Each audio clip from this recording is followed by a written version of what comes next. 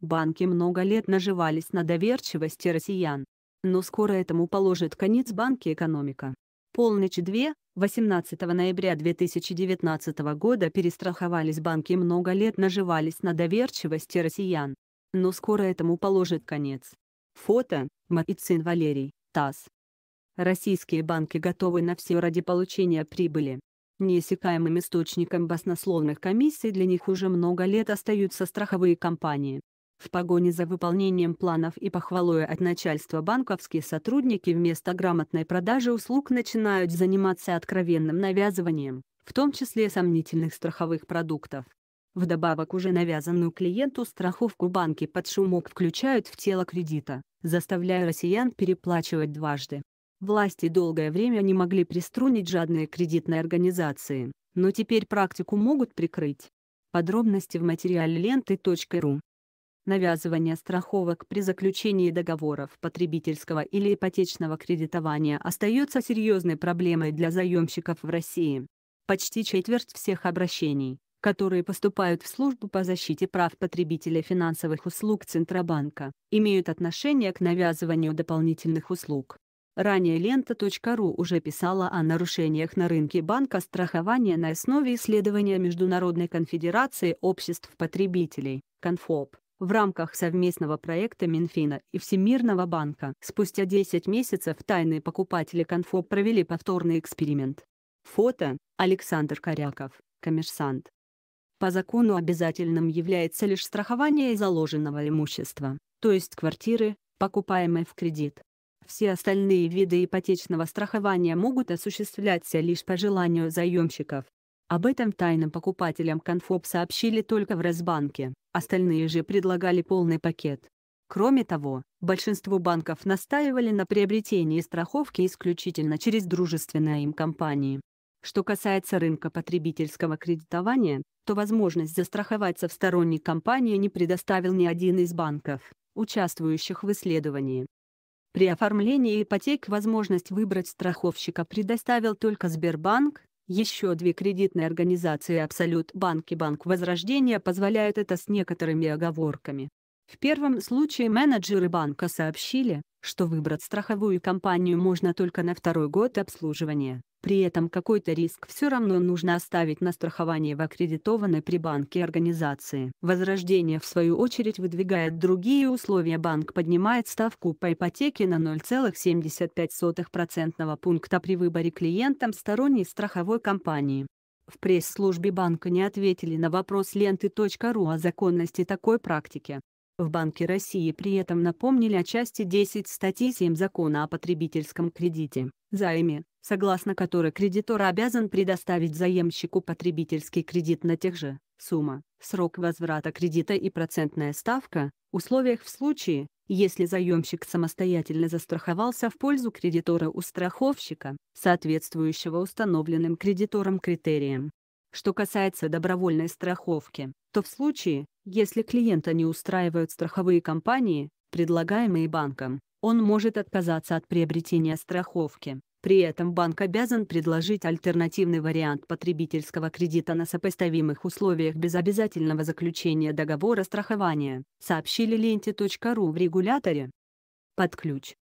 Другой вид нарушений на рынке банка страхования включение страховки в предварительный расчет по кредиту против воли клиента, в результате чего заемщик вынужден переплачивать.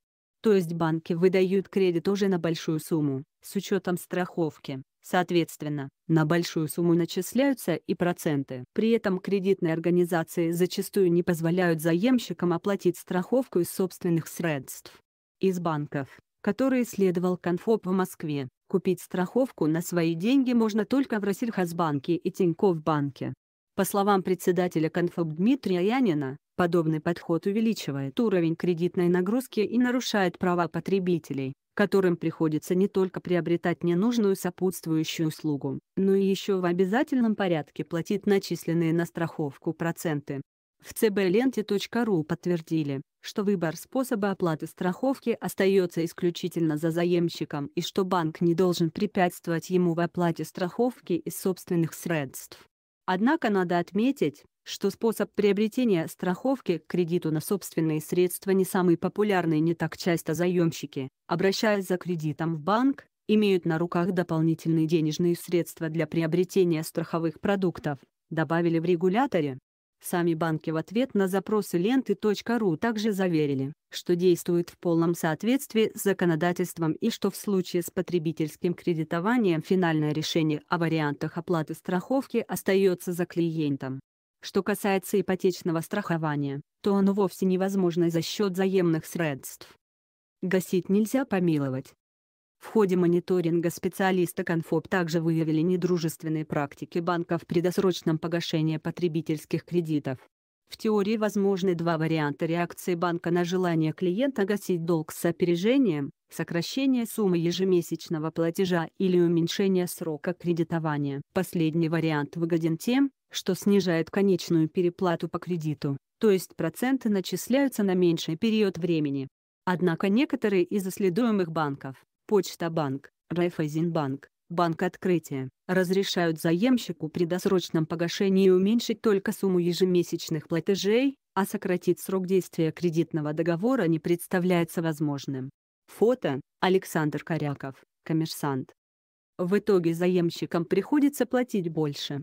Например, клиент хочет взять потребительский кредит на сумму 300 тысяч рублей сроком на 2 года под 16% годовых. Если строго придерживаться графика, сумма переплаты составит 52 558 рублей.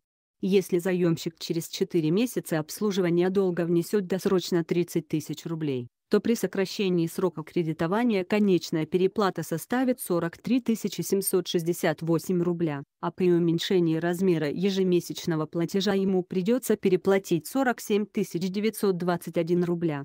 Если же взять более крупную сумму и более длительный срок, то разница будет еще более наглядной. В открытии ленте.ру сообщили, что при частичном досрочном погашении ипотечного кредита возможно как сокращение суммы платежа, так и сокращение срока кредита. Однако при частичном досрочном погашении потребительского кредита действительно уменьшается лишь сумма обязательного платежа.